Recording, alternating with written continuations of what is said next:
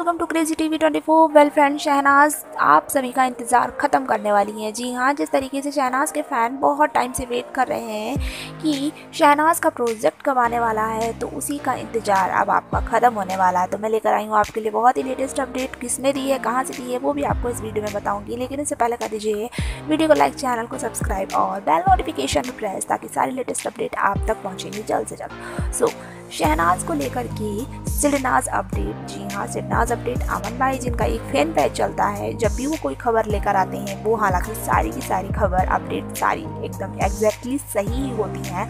तो ऐसे टाइम पे उन्होंने एक खबर दी है कि शहनाज का एक वेब सीरीज़ का सोलो प्रोजेक्ट आने वाला है शहनाज का।